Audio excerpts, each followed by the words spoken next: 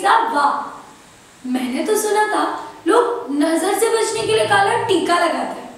मगर तुम्हारी तरह पूरा मुँह काला नहीं करते।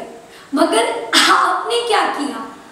आपने तो पूरा मुँह ही काला कर दिया, वकील साहब।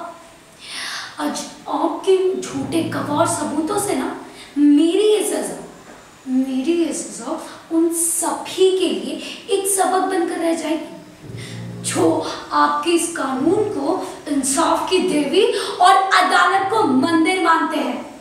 मगर मैं शांत रहने वालों में से नहीं